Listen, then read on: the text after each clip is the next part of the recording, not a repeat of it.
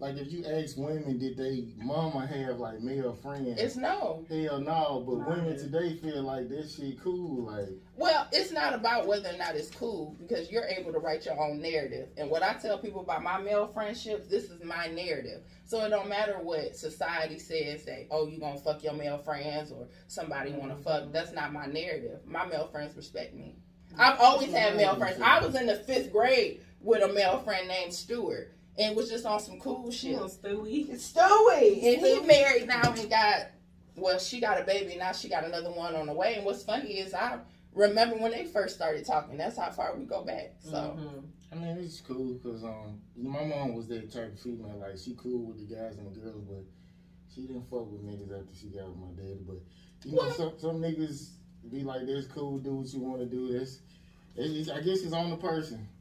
yeah. Okay, What if um, they friends already met? They supposed to get with you and be like, fuck my friends?